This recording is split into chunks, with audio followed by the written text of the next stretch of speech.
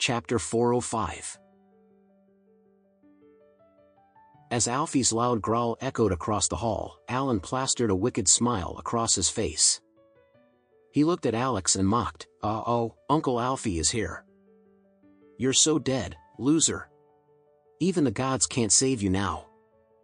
Then, he turned to Alfie, pointed at Alex, and complained, Uncle Alfie, there's a loser here who's not only pretending to be a member of this club but is also being disrespectful to Miss Adair. You must teach him a lesson. Alfie frowned at the director Alan pointed, but his aging eyes couldn't see so well, so he couldn't recognize Alex from a distance. He could see Alan though, as they were standing closer to each other. Since Alan was the son of his old pal, he was more familiar with him and trusted his words, so he urged sternly, Who is it? Guards, take him down. Several brawny security guards rushed towards them aggressively. Olivia was extremely thrilled. She glared at Alex and sneered as she said, Haha, Alex, you're so dead today. Alex grinned. Don't worry, you'll go before me. Olivia stomped her feet angrily. Damn it, you in your braggy mouth. Alan, asked them to tear his stinky mouth off his face. Alex ignored them, he turned to Alfie and shouted coldly, Alfie, you addle-pated twit, you're pretty powerful and brave, aren't you? Do you want to take me down?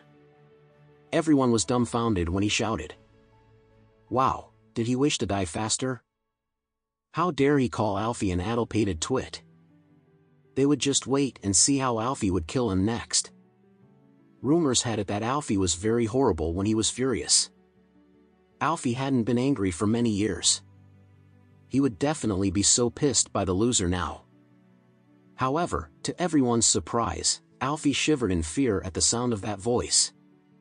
He could vaguely make out the voice to be Master Anderson's, so he instinctively looked up and bumped into Master Anderson who was highly regarded even by Lord Adair. He shuddered in shock upon the sight, all the fearsome temperament disappeared from his body. He bowed at Alex graciously and said, Master Anderson, I didn't know it was you. I'm so sorry. Everyone froze like an ice statue at Alfie's unexpected reaction. What? What the hell was going on here? Why did the Honorable Alfie apologize to Alex the deadbeat loser? Before anyone could figure out what was going on, Alex said coldly, I heard that you're highly regarded in the Adair family, but I think you shouldn't be on a higher level than Lord Adair, right? Alex didn't plan to spare Alfie so easily, not caring if Alfie was innocent. He wanted to settle the score with him because Alan had used Alfie's name to taunt him, claiming that his dad and Alfie were great buddies. Alfie would pay for it simply because of Alan's ignorance.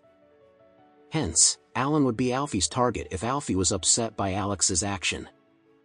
Alfie instantly knew that he was in trouble when Alex mentioned Lord Adair.